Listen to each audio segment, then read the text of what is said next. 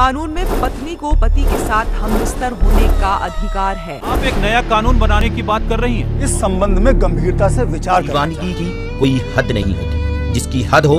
वो दीवानगी नहीं होती इश्क इंकलाब प्रेम की नई गाथा